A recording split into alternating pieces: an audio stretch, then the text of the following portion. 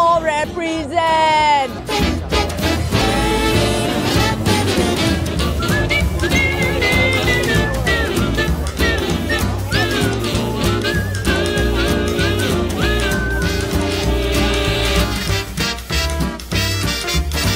to be able to be here and to be a part of this particular dialogue is just glorious.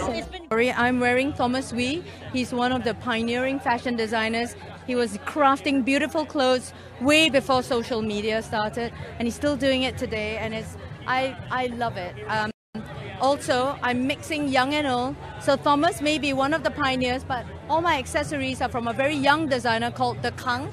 And if you look closely, he uses very everyday materials, and he's like crafting very avant-garde, unusual stuff. My bag is designed by Ling Wu, and she's got the most gorgeous craftsmanship. It's easy to hold. It's so practical. I Google, look at all these, you know, all these designers.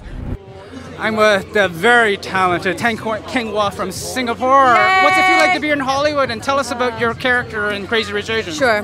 First of all, first question, it feels wonderful. It feels so wonderful to be able to bring whatever I can that I think is so deserving of some sort of attention from my little country of Singapore here onto the international stage. It's not just Los Angeles. You know, it's it's to everybody. To It's a big people. deal. Yeah, and so it's wonderful because I'm so patriotic. I'm so, I, I'm so proud of my country, and I'm happy to just represent this tiny little place uh, in the world. Uh, yeah, you know, I would say that my scenes were dramatic. Yeah, and hopefully heartwarming. Watch the movie, please. I, I think that particular immigrant story is something that I hope will be inspirational for not just immigrants but everywhere. That if you have a dream and you go for it, you, you can make your dream come true. Yeah. Wise words, especially in today's climate. Yeah. Um, just to wrap up, um, I know you're Asian. Are you crazy and are you rich? I'm crazy sometimes. What Okay. define crazy?